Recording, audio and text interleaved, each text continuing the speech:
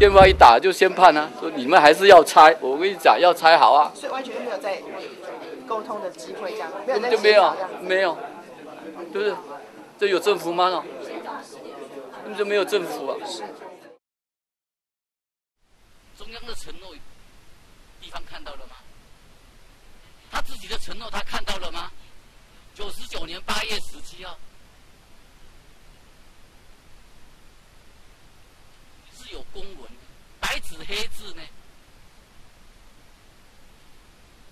而且，我合法的房子，对不对？我们住了三十几年呢，啊，一拆再拆，啊，拆到最后还不够，还要全部拆完。啊，法院，高等法院也在打官司，政府到底是怎样？要要折磨我们怎么样？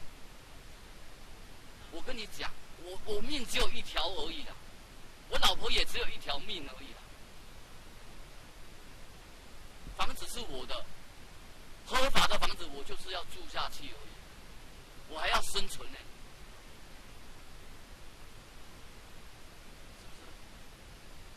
我七月五号好，你政府说你算，我就是要住。我七月五号也是住在那边，我是不会走，我是坚持到底一个小老百姓，只有要求自己的东西要回来而已。真的有那么难吗？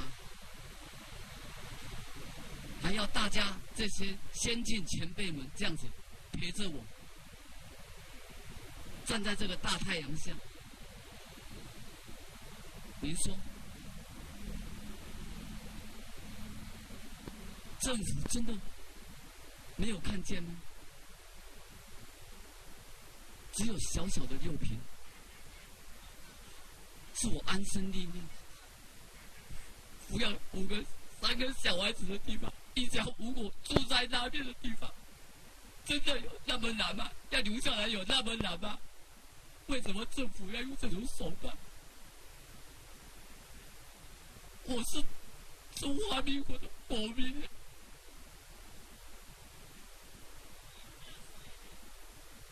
为什么？